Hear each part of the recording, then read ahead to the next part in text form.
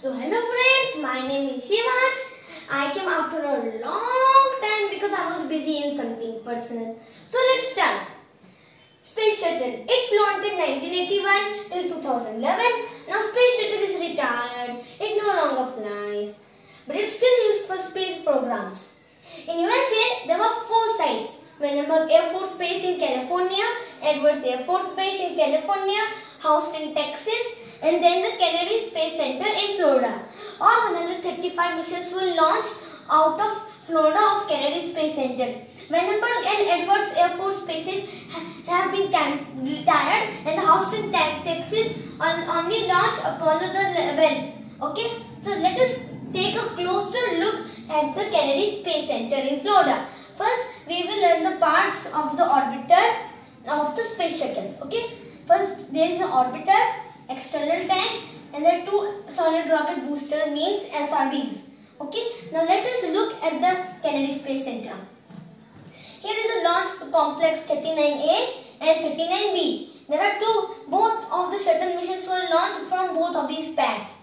Okay, and the buildings are way over here. Okay, this is called the VAB, otherwise the Vehicle Assembly Building. This is, there are three OPF buildings means uh, orbiter processing facility.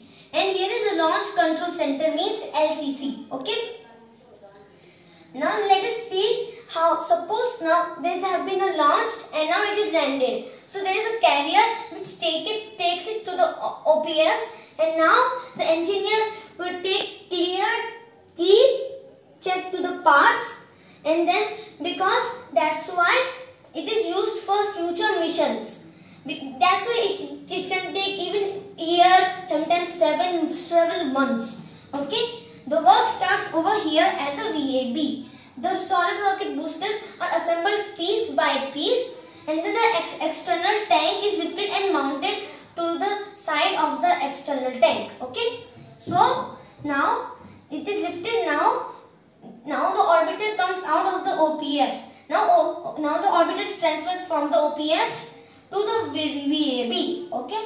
So first it is lifted into a crane and when it comes in, when remember when it comes in, it means the roll in. Okay.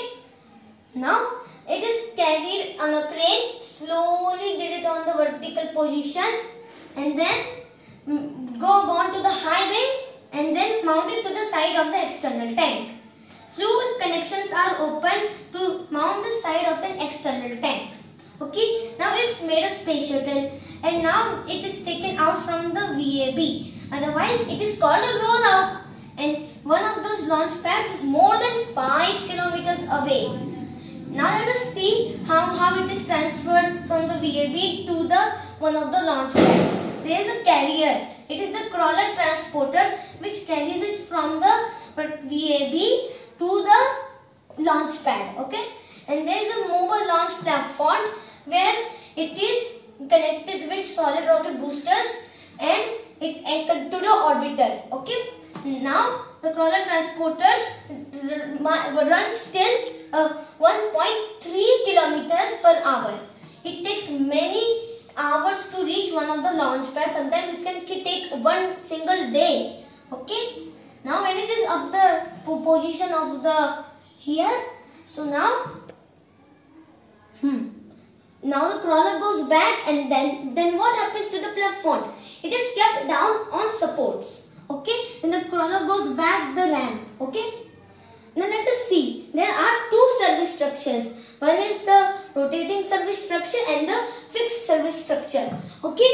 The rotating service structure have payloads which can be kept on the orbiter vehicle. Sometimes the payloads are kept here when on the launch pad and sometimes it can be kept on the OPA building. And the fixed service structure have three arms and a lightning mast on top. Okay. So, so now let us learn about the three service arms. There is hydrogen vent arm, oxygen vent arm and orbiter access arm.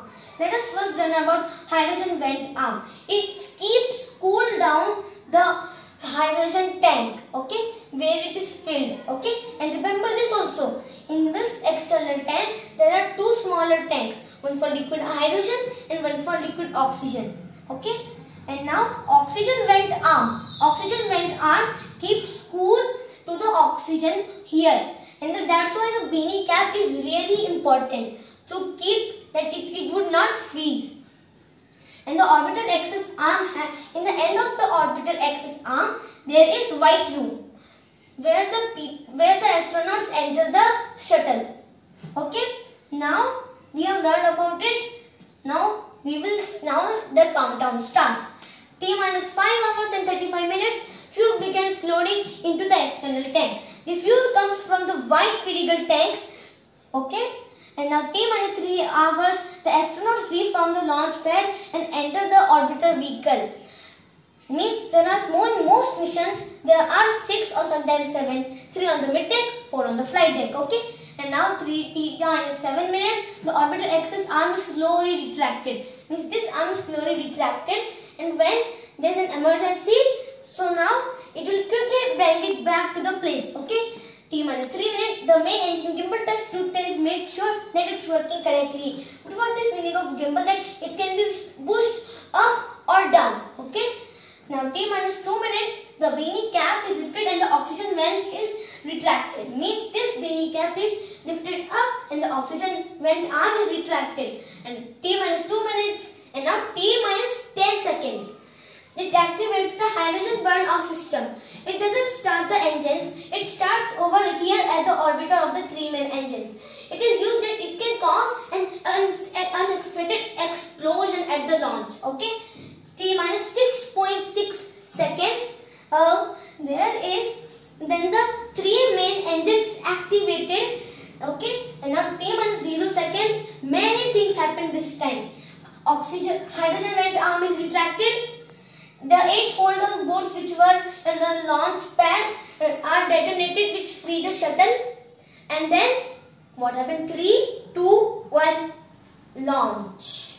When it is launched, so when they are up 32 miles per, uh, per miles above the earth. Okay. So what happens? The SRBs are separated.